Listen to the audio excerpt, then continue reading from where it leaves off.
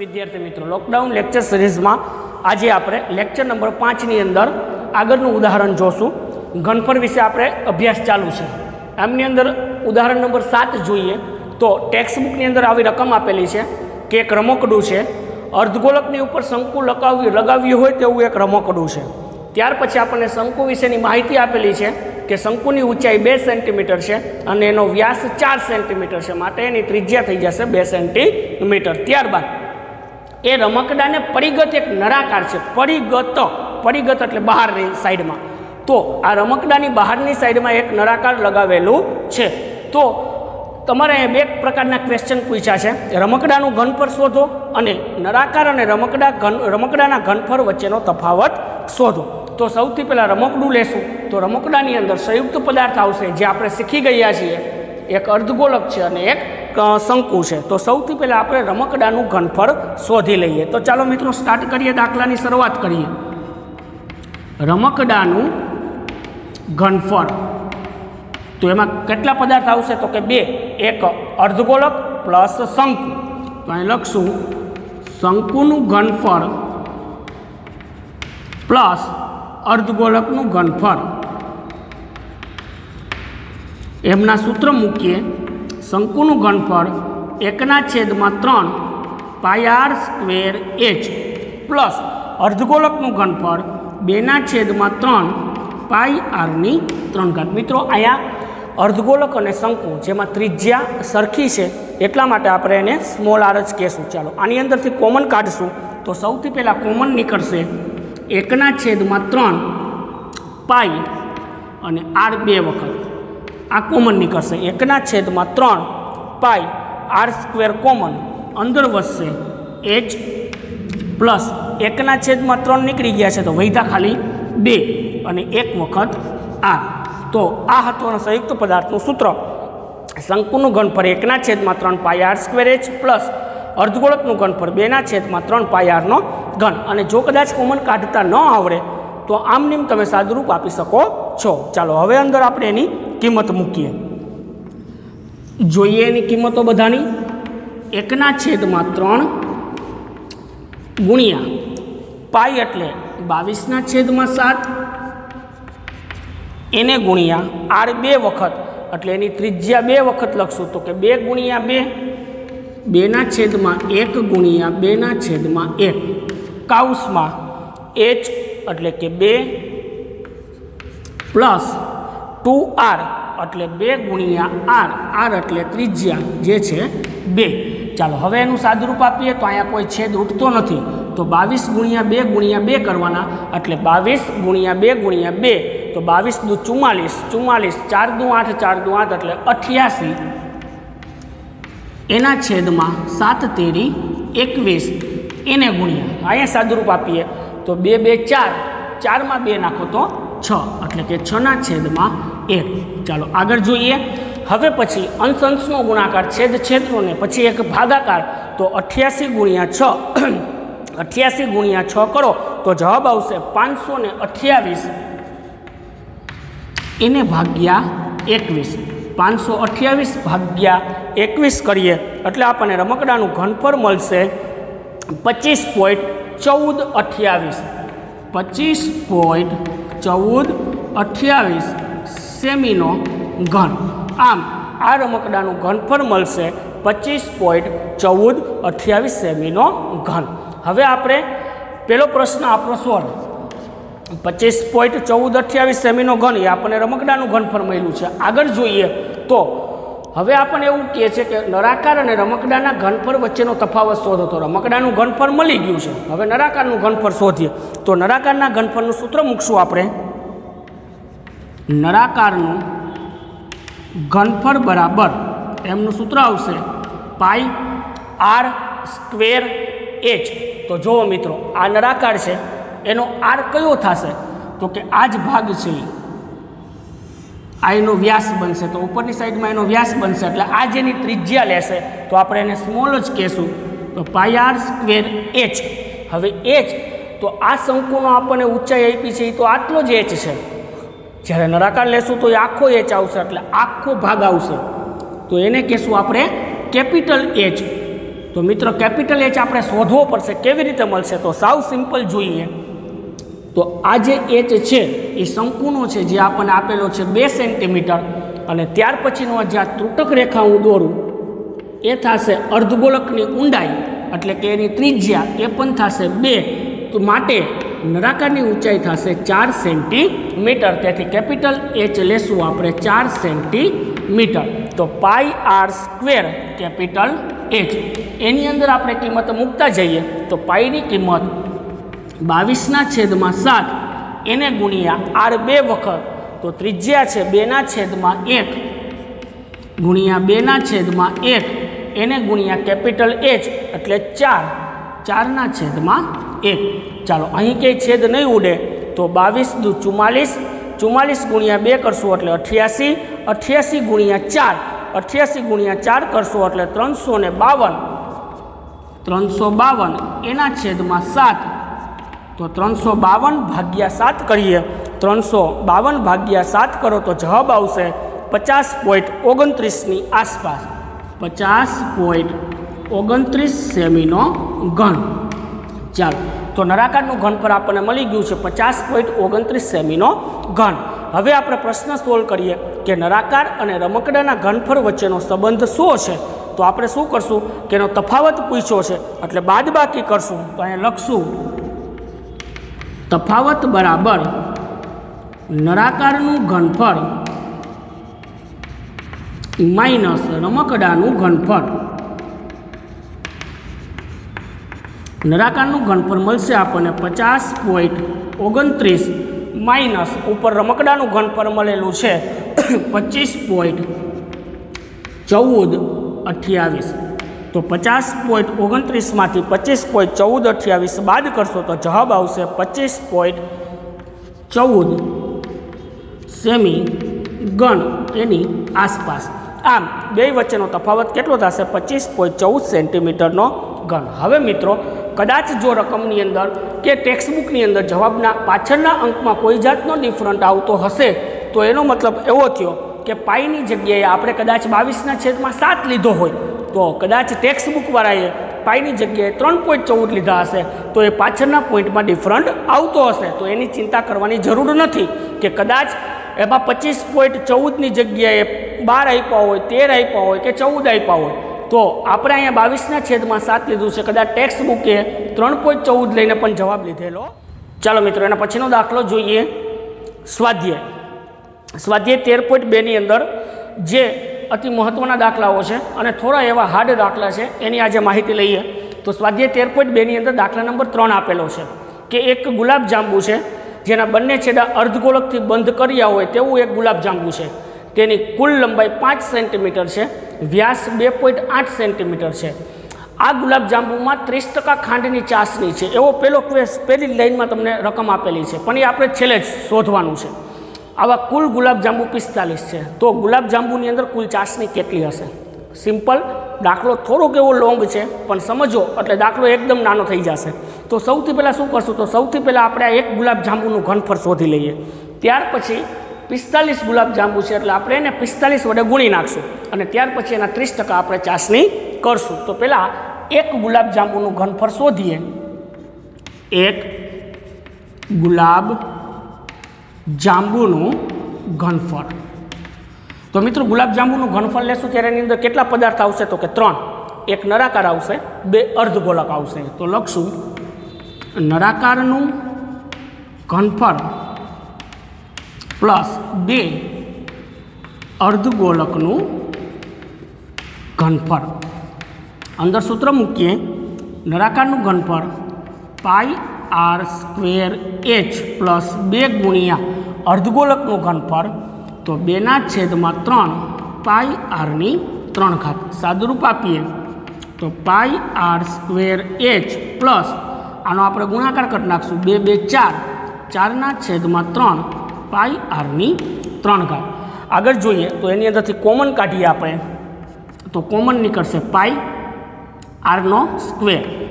તો pi R square common તો અંદર વધશે એચ પ્લસ ચારના છેદમાં ત્રણ એક વખત આર. તો ચાલો મિત્રો, હવે જોઈએ. સૌથી પહેલાં આપણને ત્રિજ્યા તૈયાર છે. વ્યાસ આપ્યો છે એટલે આપણને એની ઉપરથી ત્રિજ્યા મળશે. વ્યાસ બે પોઈન્ટ આઠ, બે પોઈન્ટ આઠના અડધા કરીએ તો એક પોઈન્ટ ચાર સેન્ટીમીટર. હવે એચ એટલે આપણે ઊંચાઈ જોશે. તો નળાકારની ઊંચાઈ કેટલી છે એને આપણે જોવાની છે. તો મિત્રો, જે આ યલો કલરની લાઇન છે, એટલી જ નળાકારની ઊંચાઈ છે. ઉપર અને નીચે તો અર્ધગોલકની ત્રિજ્યાઓ છે. તો કુલ ઊંચાઈ આપણને આપેલી છે પાંચ સેન્ટીમીટર. તો કુલ ઊંચાઈમાંથી નળાકારની ઊંચાઈ જોતી હોય તો એચ બરાબર કુલ ઊંચાઈમાંથી નળાકારની ઊંચાઈ જોતી હોય તો એચ બરાબર કુલ ઊંચાઈ પાંચ માઇનસ. આ ઉપર ત્રુટક રેખા છે અને ત્રિજ્યા કેસું એટલે એક પોઈન્ટ ચાર ઉપર છે, એક પોઈન્ટ ચાર નીચે છે. તો ટોટલ થશે બે પોઈન્ટ આઠ. તો પાંચ માઇનસ બે પોઈન્ટ આઠ કરીએ. પાંચ માઇનસ બે પોઈન્ટ આઠ કરો તો જવાબ આવશે બે પોઈન્ટ બે સેન્ટીમીટર. આમ નળાકારની ઊંચાઈ આવશે બે પોઈન્ટ બે સેન્ટીમીટર. ચાલો હવે દાખલાની અંદર એપ્લાય કરીએ. તો પાઈની કિંમત બાવીસના છેદમાં સાત, એને ગુણ્યા ત્રિજ્યા બે વખત લખશું એટલે એક પોઈન્ટ ચાર. એટલે ચૌદના છેદમાં દસ ગુણ્યા ચૌદના છેદમાં દસ. કાઉસમાં એચ મળી ગઈ છે આપણને બે પોઈન્ટ બે પ્લસ ચારના છેદમાં ત્રણ એને ગુણ્યા આર, એક પોઈન્ટ ચાર એટલે ચૌદના છેદમાં દસ. ચાલો સાદરૂપ આપતા જઈએ. તો અહીંયા છેદ ઉઠશે સાત દુ ચૌદ. ત્યાર પછી આપણે દસને ઉડાડશું નહીં. તો આ એકી સાથે ગુણાકાર કરશું. બાવીસ ગુણ્યા બે ગુણ્યા ચૌદ. તો બાવીસ ગુણ્યા બે ગુણ્યા ચૌદ કરશો તો એમનો જવાબ આવશે છસો ને સોળ. છસો ને સોળ છેદમાં દસ ગુણ્યા દસ એટલે સો. કાઉસમાં જોઈએ, બે પોઈન્ટ બે પ્લસ, આયા પણ ક્યાંય છેદ ઉઠતો નથી. તો ચૌદ ગુણ્યા ચાર ગણ્યા એટલે ચૌદ ચાર છપ્પન છપ્પન ભાગ્યા ત્રીસ કરી નાખો ડાયરેક્ટ. છપ્પન ભાગ્યા ત્રીસ કરીએ તો જવાબ આવશે એક પોઈન્ટ છ આઠ, છ છ છ છ હેલા જશે તો એક પોઈન્ટ સત્યાસીની આસપાસ આપણે લઈ લેશું. ચાલો આગળ સાદુરૂપ આપીએ. તો છસો સોળ, છેદમાં સો, કાઉસમાં બે પોઈન્ટ બેની અંદર એક પોઈન્ટ સત્યાસી ઉમેરીએ તો બે પોઈન્ટ બે પ્લસ એક પોઈન્ટ સત્યાસી તો જવાબ આવશે ચાર પોઈન્ટ જીરો સાત. ચાર પોઈન્ટ જીરો સાત. સિમ્પલ, ક્યાંય પણ ભાગાકાર આપણે બને ત્યાં સુધી કરશું ને પોઈન્ટને દૂર કરશું. તો છસો સોળના છેદમાં સો, એને ગુણ્યા ચારસો સાતના છેદમાં સો. તો મિત્રો, આપણે એક લેક્ચરની અંદર બે રકમના અને ત્રણ રકમના ગુણાકાર પણ શીખવાડેલા છે. એમનો ઉપયોગ અહીંયા કરવાનો છે. છસો સોળ, એને ગુણ્યા ચારસો સાત. એકદમ સિમ્પલ રીતે ફટાફટ એનો જવાબ લઈ આવશું. છસો સોળ ગુણ્યા ચારસો સાત કરશું. તો જવાબ આવશે પચીસ જીરો સાતસો ને બાર. પચીસ જીરો સાતસો ને બાર. છેદમાં બે ને બે, ચાર મીંડા મૂકશું. ચાર પછી પાછળથી પોઈન્ટ મૂકીએ. એક, બે, ત્રણ, ચાર, તો જવાબ આવશે પચીસ પોઈન્ટ જીરો સાતસો ને બાર સેમીનો ઘન. આમ, એક ગુલાબ જાંબુનું ઘનફળ થશે પચીસ પોઈન્ટ જીરો સાતસો ને બાર સેમીનો ઘન. મિત્રો, આખા દાખલાની રમત છે ને માત્ર સાદુરૂપ ઉપર આધારિત છે. સાદુરૂપમાં બને ત્યાં સુધી શાંતિથી એક એક એક એક સ્ટેપનું સાદરૂપ આપવાનું રહેશે. હવે આપણને એક ગુલાબ જાંબુનું ઘનફળ તૈયાર થયું. આવા કેટલા ગુલાબ જાંબુ છે? તો કે પિસ્તાલીસ, તો પિસ્તાલીસ ગુલાબ જાંબુનું ઘનફળ શોધીએ, એના માટે શું કરશું? તો કે એક ગુલાબ જાંબુને આપણે પિસ્તાલીસ વડે ગુણી નાખશું. તો પિસ્તાલીસ ગુલાબ જાંબુનું ઘનફળ બરાબર પિસ્તાલીસ, એને ગુણ્યા એક ગુલાબ જાંબુનું ઘનફળ પચીસ પોઈન્ટ જીરો સાતસો ને બાર. તો પિસ્તાલીસ ગુણ્યા પચીસ પોઈન્ટ જીરો સાતસો બાર કરીએ તો જવાબ આવશે અગિયાર અઠ્યાવીસ પોઈન્ટ બસો ને ચાર. અગિયાર અઠ્યાવીસ પોઈન્ટ બસો ને ચાર સેમીનો ઘન. આમ પિસ્તાલીસ ગુલાબજાંબુનું ઘન પર મળશે આપણને અગિયાર અઠ્યાવીસ પોઈન્ટ બસો ને ચાર. હવે મેઇન પ્રશ્ન આપણને એવું કીધું છે, ત્રીસ ટકા ખાંડની ચાસણી.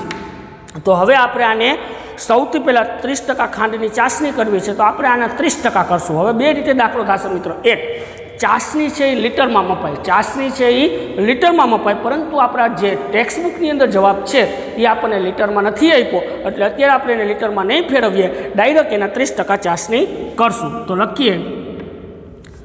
ગુલાબ જાંબુમાં રહેલ ચાસણી. તો આપણી પાસે ટોટલ ઘનફળ આવ્યું છે. અગિયાર અઠ્યાવીસ પોઈન્ટ બસો ને ચાર પોઈન્ટને દૂર કરીશ. તો ત્રણ પોઈન્ટ દૂર કર્યા એટલે છેદમાં સો, સોરી, હજાર. એને ગુણ્યા કેટલા ટકા છે? તો કે ત્રીસ ટકા.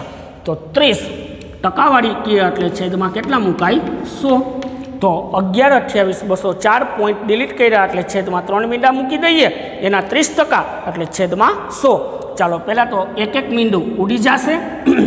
પછી નીચે માત્ર મીંડા છે. એટલે આપણે એના છેદ નહીં ઉડાડીએ.